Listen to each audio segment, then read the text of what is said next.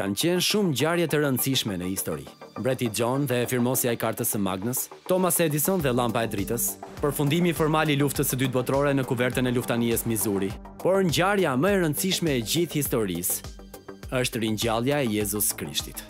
Pyetja mbi ringjalljen e Jezus Krishtit është e rëndësishme, sepse është apo jo e vërtetë, përcakton nëse Jezusi ishte ose jo me të vërtetë Biri i Perëndisë. Po ashtu konfirmon ose mohon Biblën dhe shumë shkrime që parashikuan që Biri i Perëndisë do të vinte në tokë si Mesia. Gjithashtu vërteton fjalët e Jezusit kur u tha njerëzve. Prisheni këtë tempull dhe për tre ditë do ta ngre, ashtu si profeti Jona. ishte tri ditë në barkun e peshkut. Po kështu biri i njeriut do të jetë tri ditë në zemër të tokës. Por për ne, arsyeja më e rëndësishme është kjo, Pa ringjallje nuk kemi asnjë shpëtimtar, asnjë falje për mëkatin, apo shpresë për jetë të përjetshme. Duke qenë se destinacioni ynë i përjetësisë varet nga kjo vepër historike, është e rëndësishme të shohim faktorët që rrethojnë këtë ngjarje të rëndësishme. Duke qenë se ringjallja e Jezus Krishtit është thelbi i besimit të krishterë, ajo është sulmuar vazhdimisht në mënyra të ndryshme. Ishte vetëm një ringjallje frymërore. Ndjekësit e tij e vodhën trupin dhe më pas sajuan këtë histori. Jezusi nuk vdiq me të vërtetë. Ai humbi ndjenjat, u përmend dhe u largua nga varri. Ishte dikush tjetër, jo Jezusi, ai që u vendos në kryq.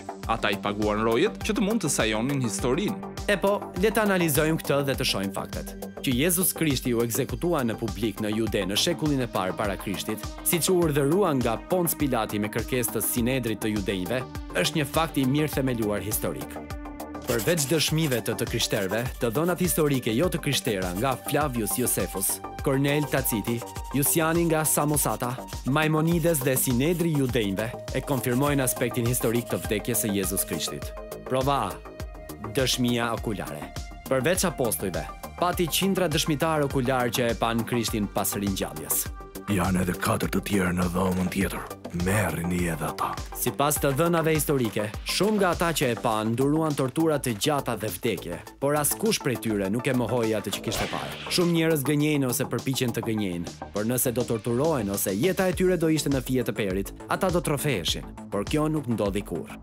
Dhe nuk ishin thjesht një a dy, por shumë njerëz. Ata ose e panë Jezusin të gjallë dhe mirë pas vdekjes së tij, ose nuk e panë. Ndodhi një ndryshim radikal tek dishepujt e Jezusit, apostujt. Ata u larguan nga frika kur Jezusin e arrestuan. A mund ta besoni këtë? Ky është i njëjti njeri që mohoi se e njihte Jezusin. Ndodhi një ndryshim i pamohueshëm në jetët e apostujve pas shfaqjes së Jezusit të ringjallur. Secili nga dishepujt dhe shumë dëshmitarë të tjerë okularë shkuan deri në vdekje duke bërë deklarata të tilla. Jezus Krishti është ringjallur së vdekuri. Unë e pashë atë. Prova B. Konvertimi i skeptikëve. Këta tradhtarë duhen futur në burg. Drejtuesi i këtij grupi dua që të vritet. Sauli nga Tarsi e pohoi edhe vetë që ishte një përndjekës i dhunshëm i kishës së hershme. Por pasi takoi Krishtin e ringjallur në Siri, Ai ndryshoi në mënyrë radikale. Ai u bë një mbrojtës i flaktë i krishtërimit dhe vuajti shumë për t'u treguar të tjerëve për Krishtin. Prova C. Armiqtë e Krishtit dëshmuan për faktin që varri ishte bosh. Dhe prova D. Ringjallja nuk mund të përgënjeshtrohej në qytetin ku ndodhi. Drejtuesit judenj dhe disa skeptikë kanë thënë se ndjekësit e Krishtit e vodhën trupin.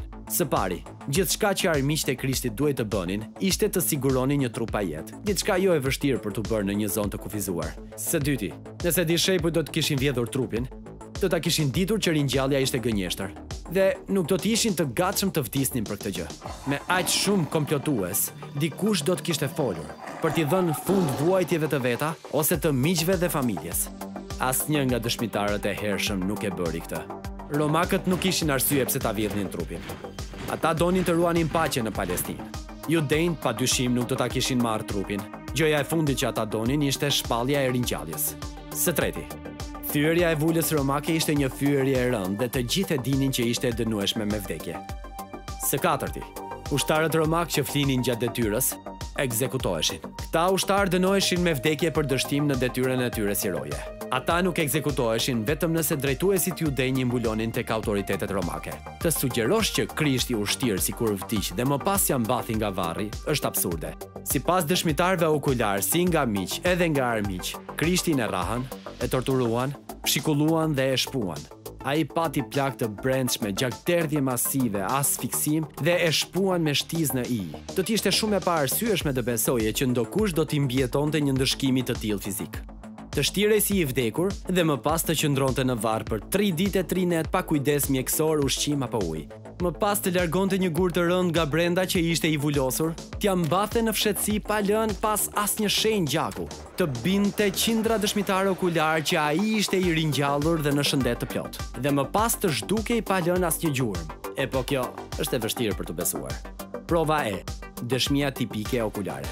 Si në kulturën judaike edhe në atë romake, dëshmia e grave konsiderohej si jo reale. Dëshmia e një gruaje konsiderohej aq e pavlerë sa gratë nuk lejoheshin si dëshmitare të ligjshme në gjykatën judaike të ligjit. Duke pasur parasysh këtë fakt, nuk ka fare gjasa që ndonjë i infiltruar për përgënjeshtrimin e ringjalljes në këtë kulturë dhe kohë të zgjidhte gratë si dëshmitare kryesore.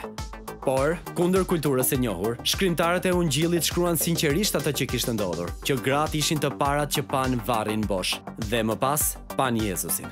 Prova historike për ringjalljen e Jezus Krishtit është më shumë se e mjaftueshme për t'i dhënë përgjigje bindëse dikujt që pyet me zemër. Ekziston një mungesë e plotë provash për një shpjegim ndryshe.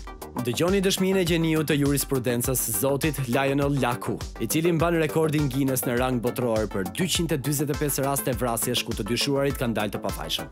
Unë kam kaluar më shumë se 42 vite si avokat mbrojtës, duke u shfaqur në shumë pjesë të botës dhe ende punoj në këtë profesion. Kam qenë me fat që kam arritur një numër suksesesh në gjykimet e jurisë dhe mund të them shumë qartë se provat për ringjalljen e Jezus Krishtit janë aq mbresëlënëse sa të bëjnë ta pranosh me anë të provave të cilat nuk lënë asnjë vend për dyshim.